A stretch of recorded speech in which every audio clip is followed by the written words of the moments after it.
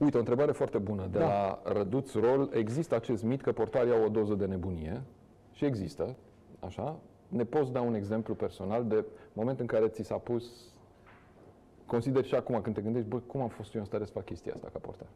Ai vreun moment din ăsta pe care îl poți povesti? Foarte bună întrebarea. Răduț rol, jos pălăria. Da, la meciul cu UTA, să vă dau așa un... Care Eram- meci cu UTA? Meciul cu UTA eram uh, la Liga 2 la Vâlcea, cu Niculescu antrenor, Da?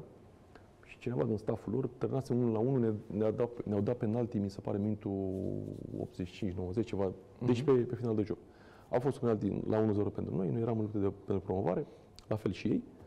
Au marcat, lucrurile au degenerat, s-a terminat meciul, după, după meci, cineva din stafful lor a sărit la noi să acuze, să, cred că era străin, nu mai țin minte.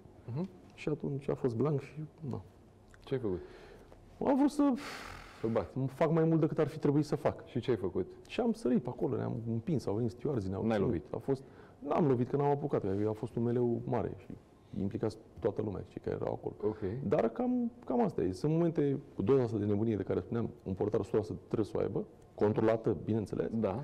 dar la, la fel, sunt momente în care și un om normal, atunci când nu mai vede sau are o doză de furie care nu poate să o poate să, Mhm. să o controleze,